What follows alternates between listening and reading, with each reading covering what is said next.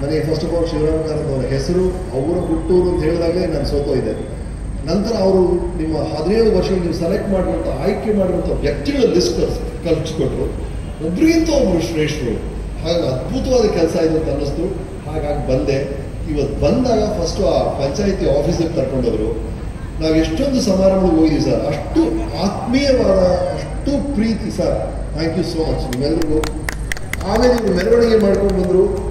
ಮೆರವಣಿಗೆಯಲ್ಲಿ, ಓಕೆ, ಮೆರವಣಿಗೆಗೆ ನನಗನ್ಸುತ್ತೆ ಆ ಮೆರವಣಿಗೆ ಎಲ್ಲ ಅಲ್ಲಿ ಸಿಕ್ಕಂಥ ಮನ್ನಣೆ, ಗೌರವ ಎಲ್ಲ ಖಂಡಿತವಾಗ್ಲೂ ನನಗಲ್ಲ ಎರಡು ಹೆಜ್ಜೆ ಮುಂದೆ ನಮ್ಮ ಕಾರಂತರು ಪಾಲಕರಲ್ಲಿ ಕೂತಿದ್ರು.